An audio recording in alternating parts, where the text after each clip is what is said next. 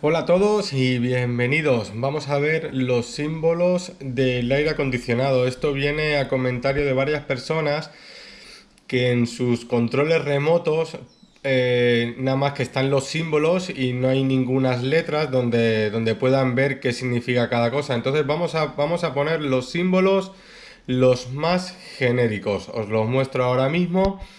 Primero es el que conocemos toda la vida, el encendido y apagado. Luego está el símbolo del frío, el copito de nieve. Alguno de estos tres símbolos que es el que, el que activa el modo de frío, donde vamos a tener aire frío y se utiliza en verano. Luego tenemos el sol, head, con las letras head, que es para colocarlo en calefacción cuando estamos en invierno. Seguimos con subida más menos subida y bajada de temperatura y vamos a graduar la temperatura que queremos en la sala, no la temperatura que sale por el aire, sino la temperatura de la sala. Luego tenemos el modo automático con esos tres símbolos, que es una función que tiene el aire acondicionado ya de fábrica y dependiendo de la temperatura que haya, la va a hacer funcionar de una manera o de otra. Aquí no podemos graduar temperatura, funciona ya de, por sí automáticamente. Luego tenemos el símbolo del ventilador, el fan, donde graduamos eh, la velocidad del ventilador del aire, el aire que sale por nuestro aparato.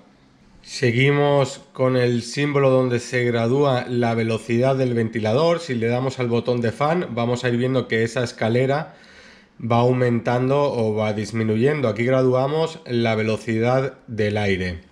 Luego tenemos la gotita o dry, que es seco, que significa para, para quitar la humedad del ambiente, algo que también hace en frío. Luego tenemos mantenimiento de la temperatura, eh, una vez tenemos, eh, estamos con el aparato y estamos de una forma, en un estado de confort, le podemos dar a este botón y esto lo que hace es graba esa temperatura y la mantiene. Seguimos con operación silenciosa, que lo que hace es el ventilador baja una velocidad mínima para que haga menos ruido, se utiliza mucho a la hora de dormir.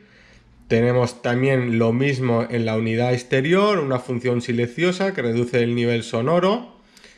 Tenemos el botón de swing, que esto significa que se mueven las lamas hacia arriba o hacia abajo de forma vertical. Y más abajo tenemos el swing horizontal, que depende del aparato, se mueve para la derecha o para la izquierda. Le vamos a dar al botón, se van a mover de forma automática y depende de la posición que, queramos darle, le volvemos a dar al botón y se queda parado. Seguimos con el botón Powerful, esto significa que, que aumenta la potencia por 15 o 20 minutos, se utiliza mucho, por ejemplo, si llegamos a la casa y está caliente o frío y queremos darle un calentamiento un poquito más rápido, le damos a este botón para que vaya un poquito a máxima temperatura y a máxima potencia. Luego tenemos el turbo que lo que hace es dar mayor potencia, sube un poco la velocidad de calentamiento o enfriamiento del aparato.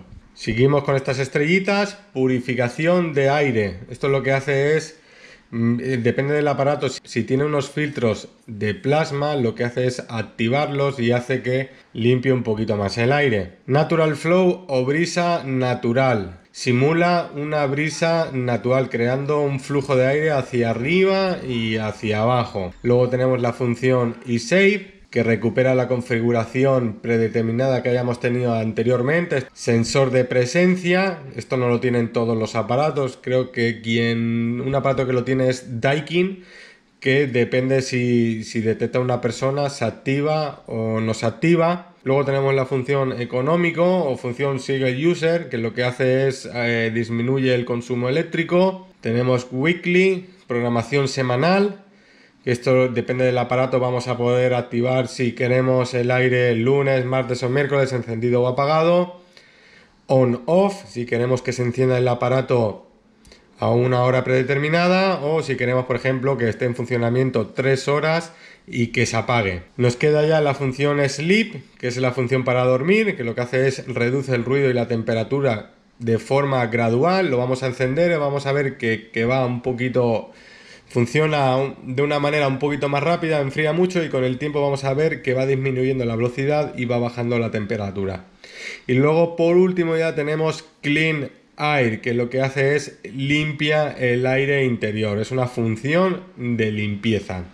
Bueno, estos son los símbolos más habituales que se utilizan para aire acondicionado. Así que ahora, si ya tenéis el control remoto, con dibujito, con letra o sin dibujito, aquí tenéis las funciones. Espero que os haya servido de ayuda y nos vemos en otro vídeo. Nos vamos.